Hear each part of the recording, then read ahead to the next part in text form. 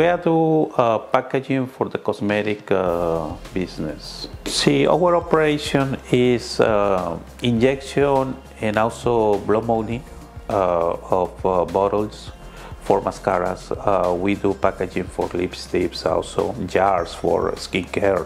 We decide to start using rope, trying to get um, more flexible operations, actually reduce the time to build equipment, uh, which uh, represent a improvement in time to market. We have processes of, of hot, hot stamping, silk screen, um, high vacuum metallization also.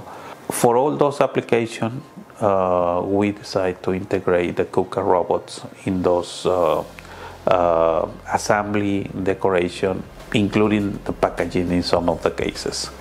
We have some examples of lines that start in the injection machine and the product ends in the uh, pallet uh, packaged by robots. Uh, in those cases, KUKA takes care of all our products. They also provide a very good support uh, since the sales uh, up to the delivery and then the start of the, of the units plus the training uh, needed for our techs and engineers. Automation uh, helps us by increasing flexibility and also to reuse um, the, the robots for different applications. For example, we can move a robot from, from a pad printing application to an assembly application to a packaging application, etc.